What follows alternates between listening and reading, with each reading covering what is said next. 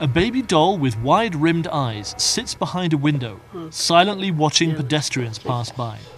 Sometimes it's just in front of the door, greeting visitors wordlessly and without any expression. This is the way that the Alvarado family in the city of Saltillo, in Mexico's northern state of Coahuila, has kept for more than 40 years to relate their likeness of a classic horror movie and mark Halloween every year on October 31st. La compré en el centro este, pues hace 42 años.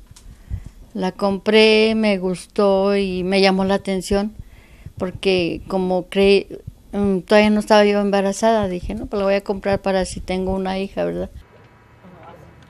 Sometimes, the family even takes the doll for a walk around the neighborhood, spooking passers-by. The family named the doll Rosita, after a similar character in Annabelle, a terrifying movie that swept cinemas during the 70s and got a remake in 2013.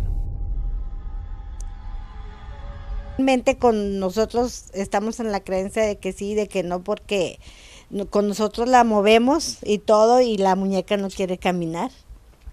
Y la mueve ella y con ella sí, sí camina. After decades of her persistent appearance, Rosita has become well known in the neighborhood.